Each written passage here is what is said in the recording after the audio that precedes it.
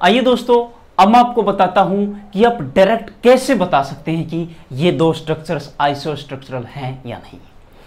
NEET और JEE में बहुत ही फ़ेमस सवाल है नीट में तो मान लीजिए हर बार ही आता है आइसो स्ट्रक्चरल बताएँ आइसो इलेक्ट्रॉनिक स्पीसीज बताएँ। आइसो इलेक्ट्रॉनिक हम डिस्कस कर चुके हैं तो बहुत ही आसान थी, हर कोई कैलकुलेट कर सकता है।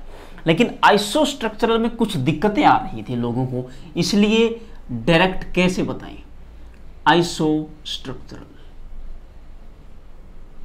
मतलब जिसका स्ट्रक्चर सेम है, वो आइसो स्ट्रक्चरल है। ये बताएँगे आप डायरेक्ट हाइब्रिडाइजेशन से। कैसे बताएँगे? हाइब्रिडाइजेशन से। कैसे? पहला, अगर हाइब्रिडाइजेशन सेम रहा हाइब्रिडाइजेशन क्या रहा? Same and number of lone pairs भी क्या हो? नंबर ऑफ़ लोन पेयर्स भी सेम हो।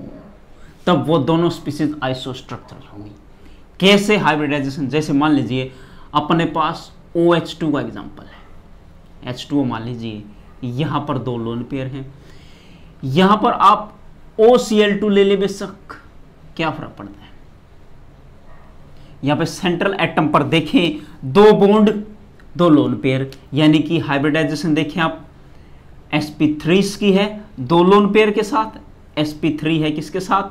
दो लोन पेयर के साथ। यहाँ भी sp3 है, एक और एक, दो लोन पेयर के साथ। मतलब ये दोनों क्या है? आइसोस्ट्रक्चरल हैं। क्या रहे होंगे जी? आइसोस्ट्रक्चरल अब अगर हाइब्रिडाइजेशन सेम आ जाए तो फिर कैसे बताओगे? यही लफड़ा था, यही लफड़ा इसी लफड़े में फंसते हैं। दूसरी बात ये आपको ध्यान रखनी मोस्ट इंपॉर्टेंट है, क्योंकि ये तो हर कोई कर लेगा। ये मोस्ट इंपॉर्टेंट है। अगर हाइब्रिडाइजेशन क्या हो? हाइब्रिडाइजेशन नोट सेम अगर हाइब्रिडाइजेशन सेम ना आए तो ऐसे केस में किस केस को कंसीडर करेंगे? डायरेक्ट बताता हूँ, देखो। पहला क्या देखें? अगर एक की हाइब्रिडाइजेशन sp है और दूसरे की हाइब्रिडाइजेशन sp3d है, किसके साथ? थ्री लोन पेयर के साथ। तब वो दोनों क्या होंगे? आइसोस्ट्रक्चरल कैसे? एग्जांपल लेते हैं। Sp का एग्जांपल मान लीजिए आपने लिया CO2 ये रहा जी CO2 सिग्मा बॉन्ड काउंट करते, एक और एक, दो दो सिग्मा, यानी कि sp और शेप कैसी रही होगी इसकी इसकी रही होगी जी लीनियर ठीक है जी।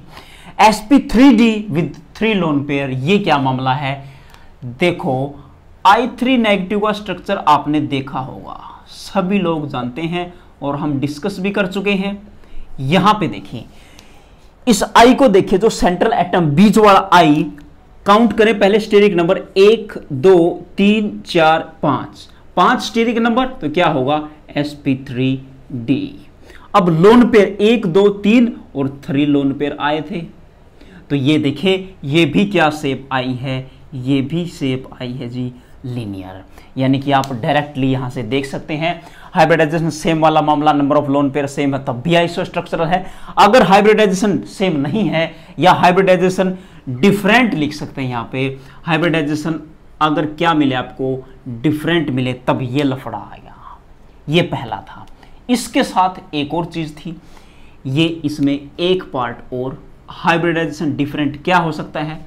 अगर आपके पास sp3 वाली चीज़ है, जिसके पास दो लोन पेयर थी, और एक चीज़ थी आपके पास sp2 जिसके पास एक लोन पेयर था। क्या था?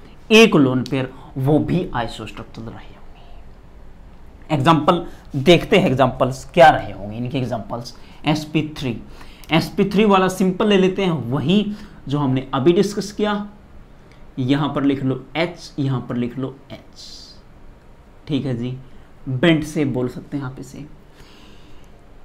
यहाँ पर लें एस एन यहाँ पर सी एल और यहाँ पर सी एल लोन पेयर एक कार्बन फैमिली का है। आउटर मोस्ट में चार ही इलेक्ट्रॉन होते हैं।